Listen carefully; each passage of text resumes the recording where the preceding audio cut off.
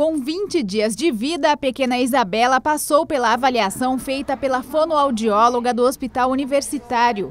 A mãe ficou feliz ao saber que está tudo normal com a formação da língua da criança. Josefa já tem um filho de 8 anos, mas ainda não conhecia o teste da linguinha. Passei a conhecer agora, né, aqui, depois que minha filha nasceu, né? Achei ótimo, porque descobre, né, alguma coisa, se a língua da, do neném é presa, né?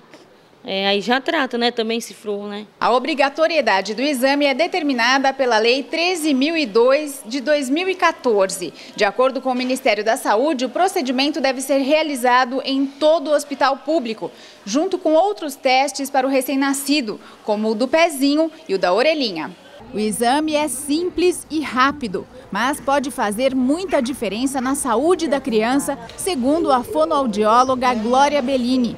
Ela explica que o objetivo é verificar basicamente o tamanho do frênulo ou freio, como é chamada a membrana que liga a língua à parte inferior da boca. A importância dele, na verdade, é ver se tem essa alteração do frênulo, que pode vir a, a ter alterações na sucção, na deglutição do bebê, na alimentação posteriormente, de, na questão de mastigação e da fala depois, né? E a gente previne que não tenha um desmame precoce do seio materno materno, que é muito importante para o bebê.